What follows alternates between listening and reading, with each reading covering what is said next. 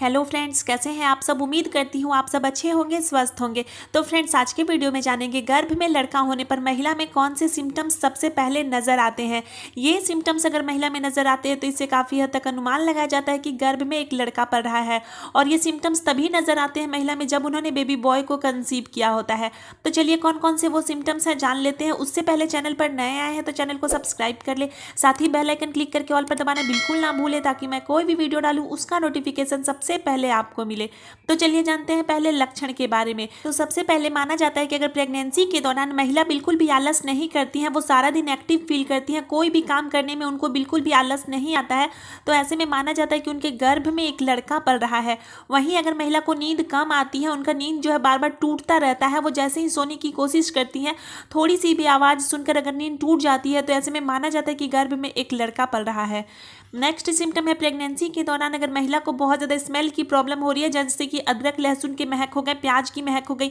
या फिर उनको नॉनवेज की महक बिल्कुल भी पसंद नहीं आती है प्रेगनेंसी के दौरान, साथ ही उनको दूध में से स्मेल आती है, दूध की स्मेल उनको पसंद नहीं आती है तो ऐसे में माना जाता है कि उनके गर्भ में एक लड़का पड़ रहा है।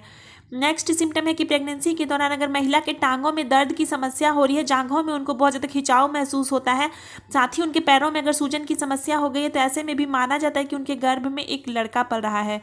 नेक्स्ट सिम्टम है कि महिला के बॉडी पर अनचाहे बालों में अगर बहुत ज़्यादा वृद्धि हो रही है, साथ ही उनके बालों के ग्रोथ बहुत अच्छे हो रहे हैं, बाल पहले के मुकाबले बहुत ज़्यादा घने हो गए हैं, टूटते बिल्कुल भी नहीं हैं तो ऐसा माना जाता है कि गर्भ में एक लड़का पड़ रहा है। नेक्स्ट सिम्टम है कि महिला को अगर पेट के निचले हिस्से में दर्द महसूस होता है, नाभि के निचले हिस्से में खिंचाव महसूस होता है और सातवें महीने से उनको ज़्यादातर पेट के निचले हिस्से में दर्द बना रहता है तो ऐसे में माना जाता है कि उनके गर्भ में एक लड़का पड़ रहा है। अगले सिम्टम के बारे में बात करें तो अगर प्रेगनेंसी के दौरान महिला को यूरिन जाने की बहुत ज़्यादा प्रॉब्लम हो रही है, उनको बार बार यूरिन आता है, वो बहुत ज़्यादा परेशान रहती है यूरिन आने की वजह से तो ऐसे में माना जाता है कि उनके गर्भ में एक लड़का पड़ रहा है। हर पाँच मिनट, दस मिनट में अगर उनको टॉयलेट जाना पड़ता है तो ये गर्भ में लड़का होने के लक्षण माने जाते हैं। अगले सिम्टम के बारे में बात करें तो अगर महिला की यूरिन का कलर बहुत ज़्यादा डार्क येलो कलर का हो गया है, गाढ़ा आता है तो ये भी गर्भ में लड़का होने के लक्षण माने जाते हैं। नेक्स्ट सिम्टम है कि महिला को अगर प्रेगनेंसी के दौरान बहुत ज़्यादा वाइट डिस्चार्ज की समस्या हो रही है, साथ ही उनमें से अगर लाल धारियाँ जैसी आ रही हैं तो ऐसे में भी माना जाता है कि उनके गर्भ में एक लड़का पल रहा है। नेक्स्ट सिम्टम है कि प्रेगनेंसी के शुरुआत में या फिर अंत में कभी भी अगर महिला को हल्की सी भी ब्लीडिंग होती है, जिसे स्पॉटिंग कहते हैं, इस तरह की अगर समस्या उनके साथ होती है तो ये गर्भ में लड़का होने के बहुत ही सटीक लक्षण माने जाते हैं।